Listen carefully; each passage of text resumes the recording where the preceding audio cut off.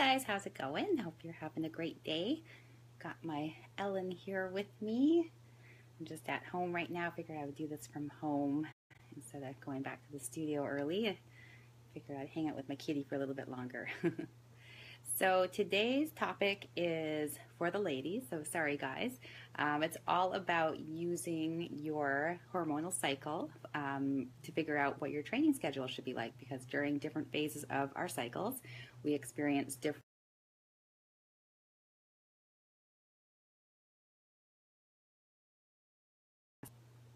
All right, I think we're back. I'm the Wi-Fi here sucks. so a friend asked me to talk about this, and um, I found it really interesting. Um, I looked up some stuff, and I found it really interesting. And um, we really can, as women, use our monthly cycles to help us train more efficiently and uh, know when we should be training harder, uh, when we should be re relying more on carbohydrates rather than fats. And um, it's very interesting indeed. All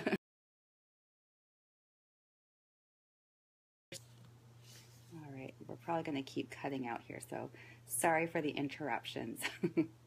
uh, for the typical uh, woman, her cycle is about 28 days on average. Uh, some of us, it might be a little more or a little less. Um, so myself, I am completely irregular, so I never know. Um, if you're lucky enough to have a regular cycle that works on a 28 day cycle, you're very lucky because then you can uh, you can use that a little bit easier than if you're kind of always more irregular and trying to figure out what part of your your cycle that you're in. So first, we'll just talk about the four cycles. So the follicular uh, phase is from day 0 to 14. And uh, during this phase, you have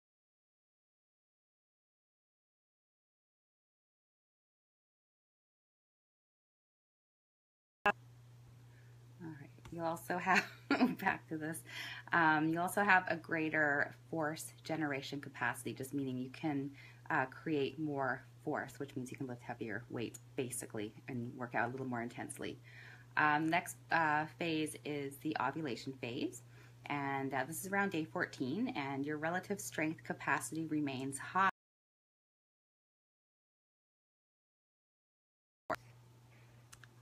All right, I don't even know if this is going to stay on or not. This is so aggravating. um, so, the ovulation phase, that's where you still have a greater ability to generate force, so you're still feeling stronger, still have a higher tolerance for pain. Um, so, good time to train hard. Um, the luteal phase lasts from about day 15 to 28, and during this phase, your body experiences a higher than normal temperature. So, this means that your cardio output could be altered. Um, you could be less efficient during exercise, and this phase is where you're going to feel fatigue sooner and a little more than normal. So, this is not the greatest time to be working hard. And then finally, menstruation, and during this phase is where water retention and PMS start to subside, and you're getting ready to start again um, into the follicular phase where you're going to be feeling stronger again. So, what should you be doing during these phases? So during the follicular phase, uh, you should be focusing on on your training progress. So since you're stronger, you're going to want to take advantage of this. So during this phase, um, your body tends to use more carbohydrates as a fuel source than it does fat. So this means that you can train more intensely. Um, you can do those more powerful workouts where your body is going to need to use uh, glycogen for that quick source of energy. So this is the time to train hard, do those intense workouts, and um, you know train through that good pain. Make sure it's good pain, and really enjoy your workout. So it's going to feel good. You're going to feel strong, and you're going to get a lot accomplished. Um, during the next phase, during ovulation phase, uh, your strength is still high, as I mentioned. So this is a great time to attempt some personal records if you want to. Um, but unfortunately, this is also a time where you're more susceptible to injury.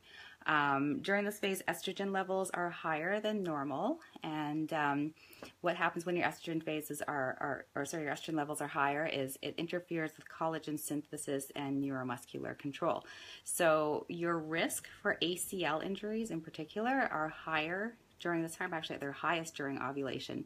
Um, if you want to check out a study on that, there's a link in my blog to one if you want to check that out. Um, so go ahead and train hard during the ovulation phase, but just make sure your form is perfect and you're really focusing on what you're doing. So if you're starting to get fatigued and you're losing focus, just take a break. You don't want to injure yourself.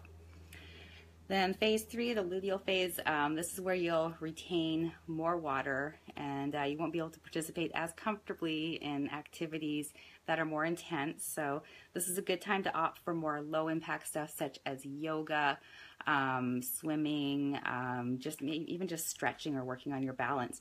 And during this time, your body tends to rely more on fat for energy. So um, this is good for doing low impact activities um, because uh, when you're doing low to moderate activity, um, your body is um, working more off of its fat stores and it doesn't really need to um, utilize the glycogen that you have stored up. So this is a good time to kind of take it easy and, uh, you know, let your body recover and work on things such as, you know, balance and stretching and stuff like that. And then finally, during menstruation, you can start doing higher intensity activities. You might not really feel like it, but this is a good time to start getting into the higher intensity stuff um, because your body is starting to transition back into that follicular phase where your strength is going to be high and you have a greater capacity for work and you um, have a better tolerance for pain. So, and this is also a good time um, to increase your carb intake a little bit because for those intense workouts that you're going to do, you're going to need to be able to utilize uh, stored glycogen um, for those those bursts of power and that high intensity workout. So that's it. Just a really short one today. Sorry about all those little blips there as we went in and out. Stupid Wi-Fi here. Um, hope that kind of sheds some light on it. Um, if you have a regular cycle, this is going to be really, um, really good for you to use. So, you know, stick to the um, advice here and you'll get the most out of your workouts and um, you'll give your body what it needs at the right time. Um, if you're quite irregular, um, it can be a little more tricky, but just, you know, keep a diary and um, kind of figure out sort of where everything's happening when it's happening and plan your training around that.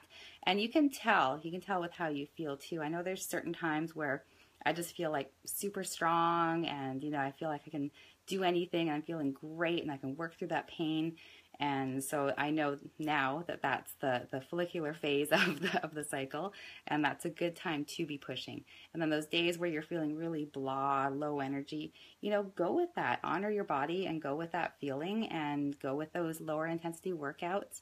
Um, your body's going to be using more fat for energy, so you want to do the lower intensity stuff anyways and um, just use this information to your advantage so that you're not wasting your time uh, with your training. You're not doing the wrong things at the wrong time, and you're also decreasing your risk of injury. So the more you know about where you are in your cycle, uh, the better you're able to um, do things so that you are getting the best results without uh, risking injury. And keeping in mind that um, it's during the ovulation phase where you are more susceptible to injury, especially ACL. So, anyone who's ever struggled with an ACL injury, you know it's bad. so, you want to be careful during that time. Like I said, just, you know, work hard, but stay focused on, on uh, what you're doing and make sure your form is perfect. All right, so that's it. I'm going to go before this cuts off again.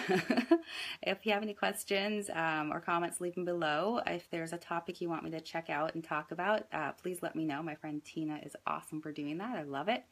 Um, and if you need to talk to me privately, feel free to message me anytime.